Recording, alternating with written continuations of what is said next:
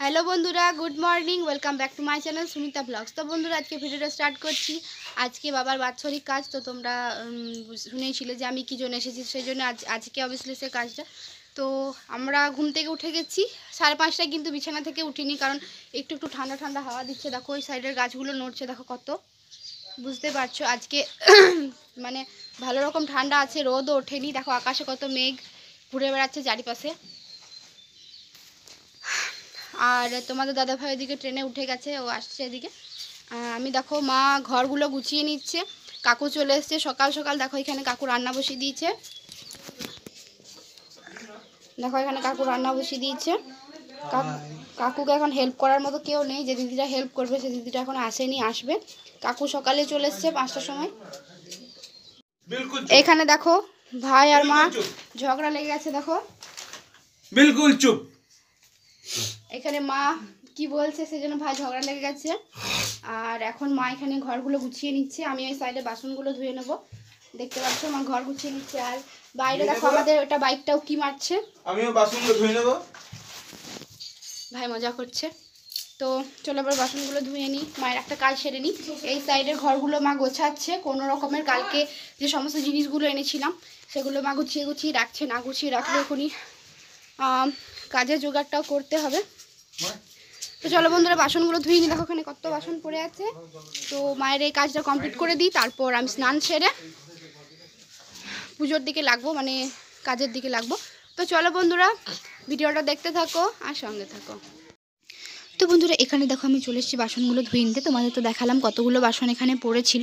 তো মা একা হাতে সবগুলো সামলাচ্ছে সেই জন্য আমি ভাবলাম বাসনগুলো আমি ধুয়ে নিই। দেখতে পাচ্ছ, বাসনগুলো ধুয়ে নিচ্ছি আর ভাইয়ের সাথে গল্প করছি। আর আমাদের কিন্তু এক সাইডে বক্স বেজে যাচ্ছে, কারণ আমরা আমি বাপের বাড়ি গেলে বা ভাই এলে আমাদের বক্স ছাড়া চলে না আর কি। আমরা বক্স বাজিয়ে সমস্ত কাজগুলো সারি।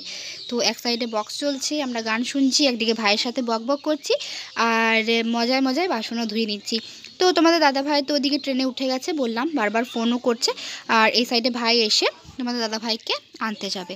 তো আমি বাসনগুলো ধুয়েই স্নান সেরে নেব, তার আগে দেখি পুচকিকে খাওয়াতে হবে। পুচকি মানে আমাদের খরগোশটা, ওকে খাইয়ে দিতে হবে। সকাল সকাল ও খায় চা টোস্ট তো দেখো, ওকে এবার চা টোস্ট খাওয়াবো বাসনগুলো ধুয়ে নেওয়ার পর। তো চলো বন্ধুরা আমি কাজগুলো সেরে নিই। মা তো কিছু করতে দিচ্ছে না, এতদিন পর এলাম, কিন্তু তা সত্ত্বেও মাকে তো একা সব ছেড়ে দেওয়া যায় না না? সেই জন্য ভাবলাম যে না, আমি বাসনগুলো ধুয়ে দিই। তো তা মা করতে না দিল, আমি কেড়ে করে নিচ্ছি।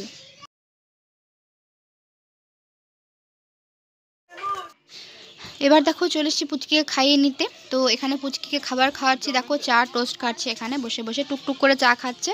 ও চায়ের সেন্ট পেলে পুরো গায়ে ঝাঁপিয়ে পড়ছে, কি বলব তোমাদের? বলার কিছুই নেই। তো ওকে গায়ে বললাম, না ঝাঁপিয়ে এখানে বস, চুপচাপ। তো সেজন্য দেখো ওখানে চুপটি করে বসে আছে চা টোস্ট খাচ্ছে। চা টোস্ট দেখো ওকে দেওয়ার সত্ত্বে সে দেখো ও নিজেই খেতে চলে আসছে। মানে এত চা প্রিয় আর টোস্ট প্রিয়। তো ওকে খেতে দিলে গোটায় ফেলে দেবে, সেজন্য খাইয়ে দিতে হয়। তো সে না খাইয়ে দিচ্ছি।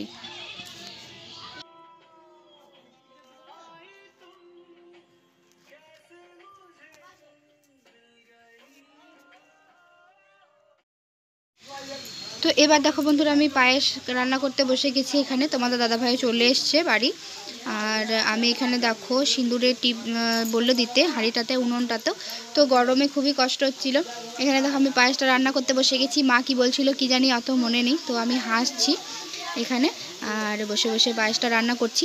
তো মা বলল, বাবাকে তুই পায়েসটা রান্না করে দে। তো সেই জন্য আমি পায়েসটা রান্না করছি। ওই দেখো, ওইখানে যে দু লিটারের বোতলটা দেখতে পাচ্ছ, বাড়ি থেকে তোমাদের দাদাভাই দু লিটার দুধ এনেছিল ওটাতে, তো ওটাতেই করছি।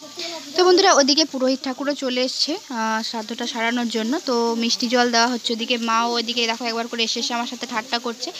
আর মানে আমি বাপের বাড়িতে থাকি না, কোথায় থাকি বুঝতে পারি না, কারণ নিজের মাও আমার সাথে ঠাট্টা করতেই থাকে আর কি।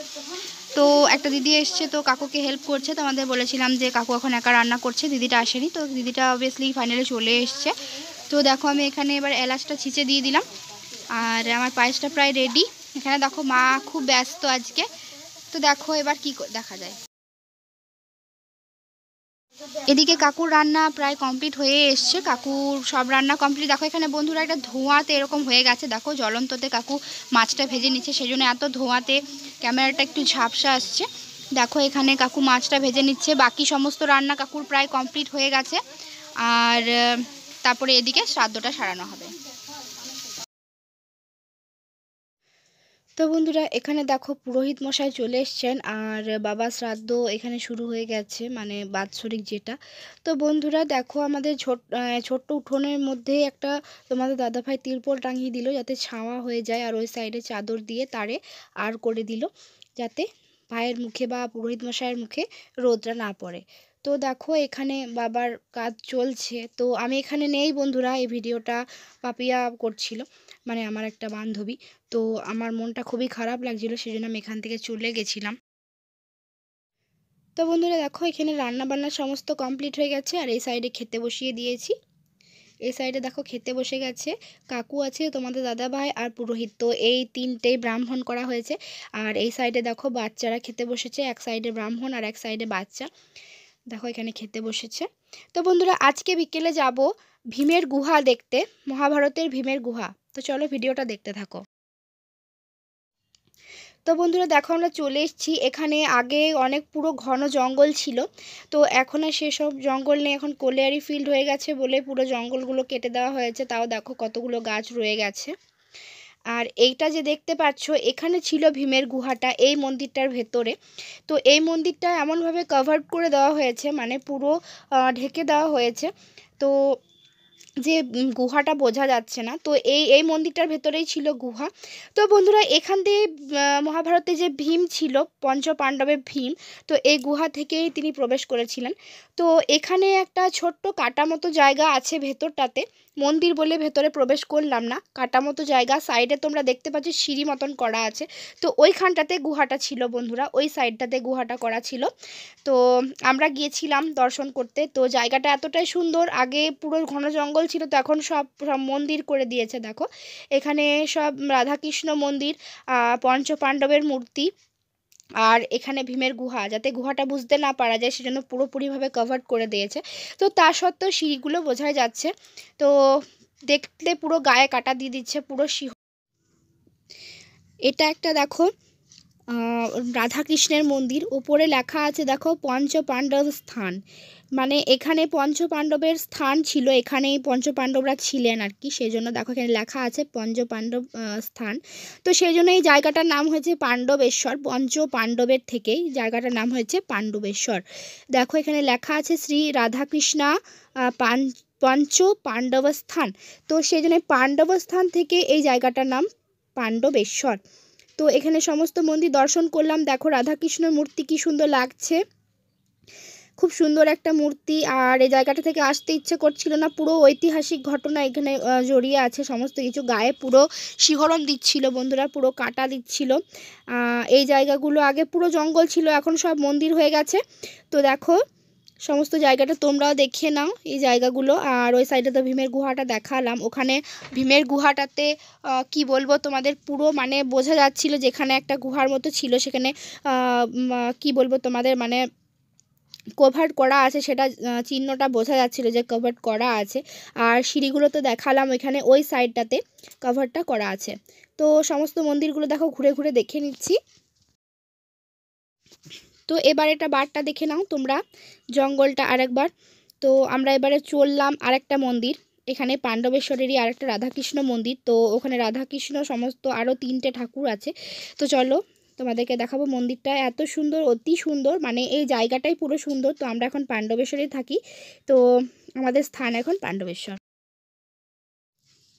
তো বন্ধুরা, দেখে নাও, এটা হচ্ছে আর একটা রাধাকৃষ্ণ মন্দির। পাণ্ডবেশ্বরে ওখান থেকে চলে এসে কিছুটা দূর। দেখো, এখানে ঠাক মূর্তি রয়েছে। এখানে রাম সীতা রাম সীতা আছে, রাধাকৃষ্ণ আছে, আর আছে গৌর নিতাই, যেটা বলে নিত্যানন্দ মহাপ্রভু। গৌর নিতাই। তো দেখো আমি ঘুরে ঘুরে দেখে নিচ্ছি। এই সাইডটাতে ডান সাইডটাতে আছে চৈতন্য মহাপ্রভু আর ওই সাইডটাতে আছে রাধাকৃষ্ণ, আর এক সাইডে আছে রাম লক্ষণ সীতা।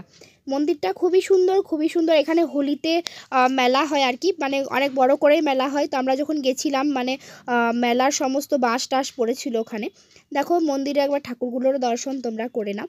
এটা হচ্ছে রাম সরি রাম সীতা নয়, এটা হচ্ছে রাধাকৃষ্ণ। দেখে নাও রাধাকৃষ্ণ। আর এই সাইডে আছে, ওই লেফট সাইডে আছে, এটা রাধাকৃষ্ণ মাঝে লেফট সাইডে আছে রাম সীতা, হনুমানজি, লক্ষণ। আর রাইট সাইডে আছে চৈতন্য মহাপ্রভু। তো মন্দিরটা এত সুন্দর মনে ছিল বসে থাকি, আসতে ইচ্ছে করছিল না মন্দিরটাতে। এই দেখো চৈতন্য মহাপ্রভু নিত্যানন্দ। তো বন্ধুরা, এবার চললাম বাড়ি। তো আজকের মতো ভিডিওটা এখানেই। ভালো লেগে থাকলে লাইক, কমেন্ট, শেয়ার করবে। আর যারা আমার চ্যানেলে নতুন আছো, তারা সাবস্ক্রাইব করে সঙ্গে থাকো। আর আজ থেকে প্রত্যেক দিন ভিডিও আসবে।